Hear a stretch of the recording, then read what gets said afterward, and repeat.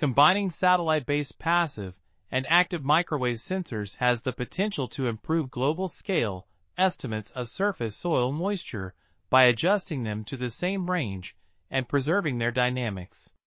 The methodology developed rescales volumetric soil water content from AMSR-E and degree of saturation from ASCAT against a reference land surface model data set using a cumulative distribution function matching approach. Merging these different satellite products increases the number of observations while minimally changing the accuracy of soil moisture retrievals in transitional regions, delineating the boundary between sparsely and moderately vegetated regions.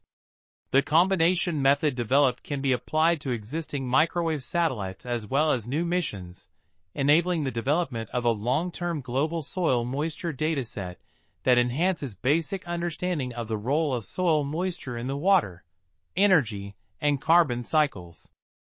This article was authored by Y. Y. Liu, R. M. Parinussa, W. A. Dorigo, and others. We are RTCL.TV. Links in the description below.